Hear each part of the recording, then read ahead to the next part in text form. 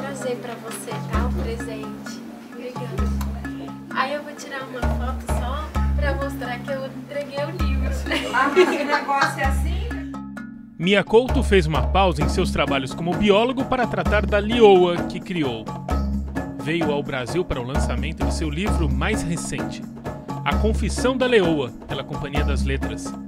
Um romance que trata essencialmente das condições de vida das mulheres no norte de seu país, Moçambique, onde vivenciou a história que lhe serve para tratar do assunto. Os ataques de leões a uma aldeia que causaram a morte de várias pessoas, a grande maioria de mulheres. À beira de completar 30 anos o lançamento de seu primeiro livro, Raiz de Orvalho, de poesia, o moçambicano, também do romance Terra Sonâmbula e dos contos de histórias abençonhadas, falou ao Publish News TV do que nota de diferente em suas obras ao longo dessas três décadas. Tenho uma saudade enorme desse tempo em que eu, perante a página, tinha uma espontaneidade, até uma ingenuidade enorme, não é?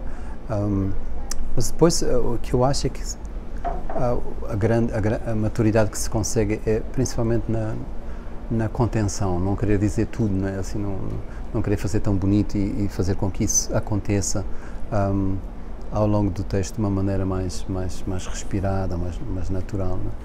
É? Um, acho que esse percurso, sim, eu olho para trás e vejo vejo que houve isso, houve coisas que eu perdi houve coisas que eu, que eu, que eu fui ganhando. É? Tornei-me mais contido em relação àquele trabalho de invenção vocabular, é? do, do, trabalho de recriação da língua. A certa altura um, me apeteceu deixar isso e fazer uma outra coisa, mas, quer dizer, conservando aquilo que para mim é o, o meu chão. O meu chão é poesia, dizer, portanto, um, não, não, não, não abdico disso, não sei fazer de outra maneira, aliás.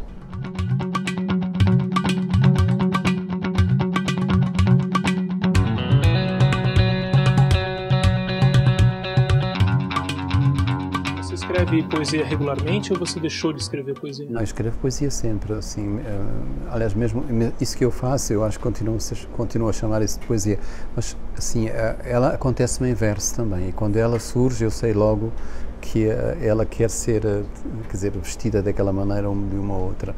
E, e eu publiquei três livros de, de, de, poesia mesmo, aqui no Brasil não estão publicados, mas eu estou a caminho de fazer um quarto. Mia Couto aparenta uma calma profundamente enraizada, pelo falar de voz baixa e pausada. Ao mesmo tempo é relaxado e sorridente, só que um lado menos divulgado, talvez. Como na foto dele na loja da editora, na Livraria Cultura do Conjunto Nacional em São Paulo. De longe não tão intimidadora quanto a de Chico Buarque observando nossa entrevista. com ar crítico, né? É, o fato de você ter uma carreira como biólogo lhe dá mais liberdade como escritor? É melhor o escritor ter uma carreira independente, não necessitar de viver da literatura? Eu não sei se é melhor. Para mim é. Uh, e, e, não entendo como carreira, como profissão. Quer dizer, assim, eu, eu, eu nunca terei uma carreira nem como escritor, nem como biólogo. Mas uh, para mim é importante isso. É, é importante eu, uh, digamos assim, manter com a escrita uma relação de por prazer, não, não como, como alguma coisa que eu, que eu tenho que fazer, que eu tenho que ir. É, é, um, é, um, é um lugar tão sagrado que eu vou só lá em visita, não, não moro lá. O que, como você entende o mercado editorial hoje no mundo e principalmente por causa da digitalização? Qual é a sua percepção? Não sei, alguém pode entender o mercado, assim, eu acho que não, não, nem editorial nem nenhum outro, porque as leis do mercado são tão uh, fluidas, não são?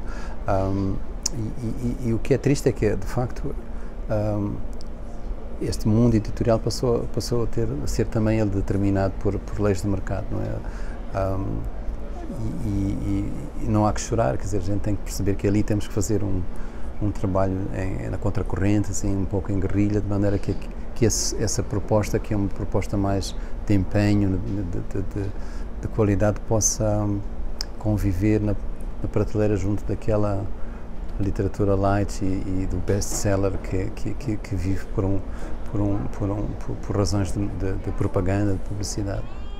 Aliás, Falamos com ele desse costume internacional do jornalismo de querer saber dos escritores opiniões de quase tudo. Mas é errado as duas partes, porque o escritor também colabora nisso. Ele é cúmplice desta coisa. O escritor aceita dar opinião sobre tudo, sobre economia, guerra, etc. É? Então, ah, não, não há assunto que o escritor não acha que possa também pode também falar. E, e ah, aí eu acho que é, é, uma terapêutica que tem que ser feita de um, de um lado e do outro. E o escritor dizer, não não sei, não, sobre esse assunto não falo, porque eu, eu conto histórias. Não?